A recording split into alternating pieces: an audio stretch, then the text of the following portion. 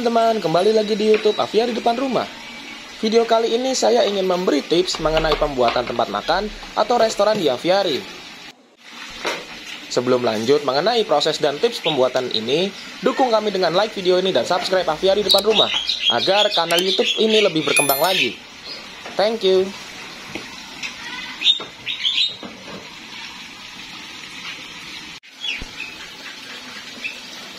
Dalam membuat aviari, tidak hanya memperhatikan bagian ekosistem alami seperti pepohonan dan air yang mengalir saja. Namun, dalam membuat aviari juga harus diperhatikan detail seperti tempat untuk burung makan atau biasa disebut dengan restorannya. Kenapa harus membuat restoran? Tujuannya agar makanan yang disediakan pemilik aviari tidak berantakan ke mana-mana. Isi restoran itu bebas bisa pur, ulat, atau cacing, dan lain-lain. Dan juga harus diperhatikan tempat yang strategis untuk membuatnya. Untuk itu, mari kita bahas bersama dari proses pembuatannya.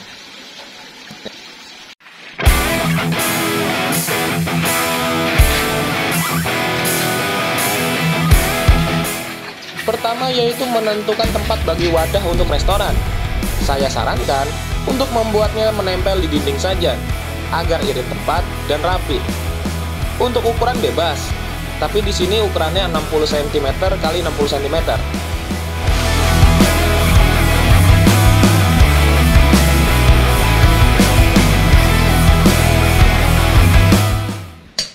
Dan ini tempat untuk restoran ya teman-teman.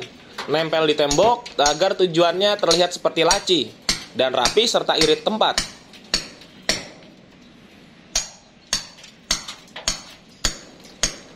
Lalu juga kita siapkan tangkringan tambahan yang menempel di tembok.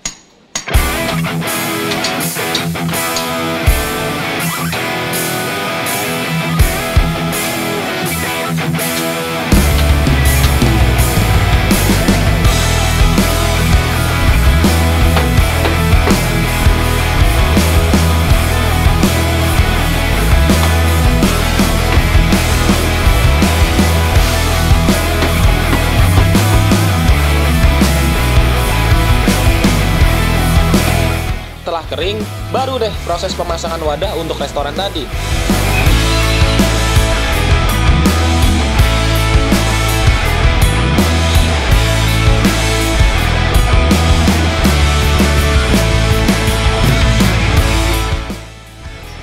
Namun sebelum ditempel, dalamnya harus dikasih perekat dulu agar kuat.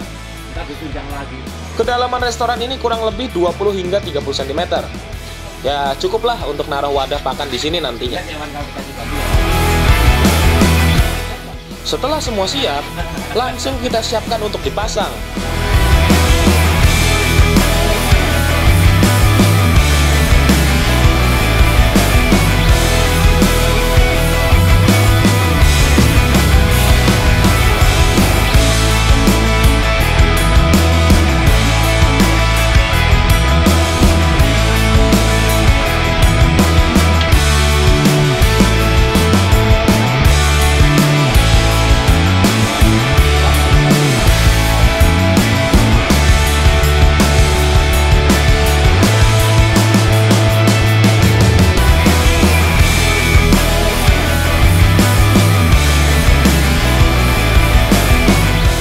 Setelah itu, direkatkan lagi dengan paku dan kawat agar menempel sementara.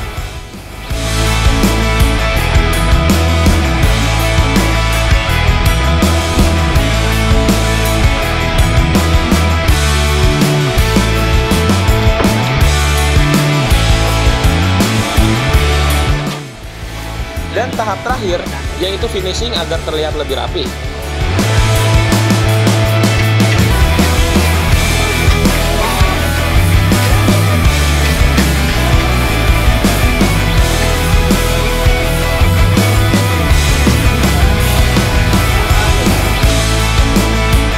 sudah jadi deh tempat makan atau restoran di Avia di depan rumah.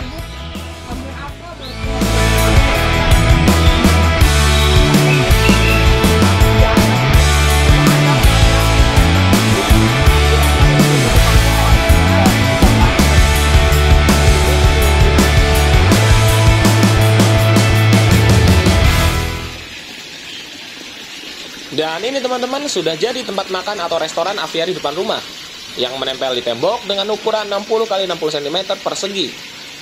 Di dalamnya tidak lupa dibuatkan laci dari kayu agar makanan tidak jatuh ke bawah.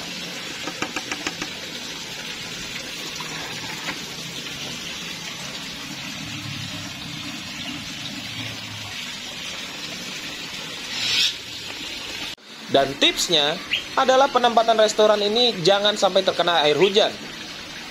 Di mana pun tempat restorannya kalau bisa jangan terkena air hujan. Sama seperti tempat makan yang di bawah juga, terlindung dari air hujan. Agar pakan tidak bengek atau busuk terkena air hujan.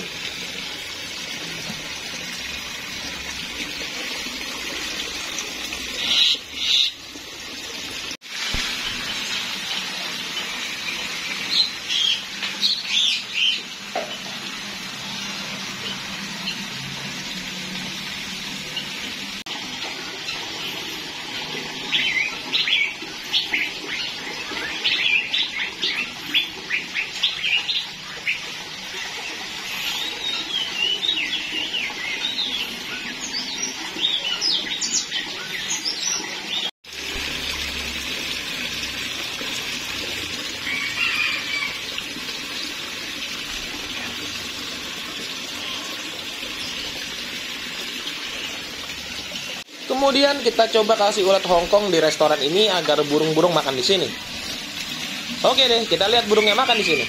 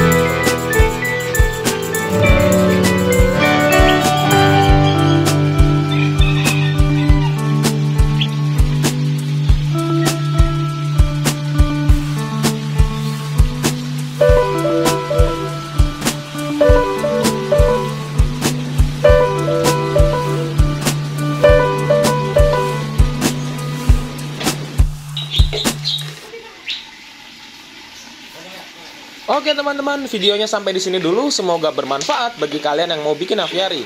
Sampai jumpa di video selanjutnya. Thank you.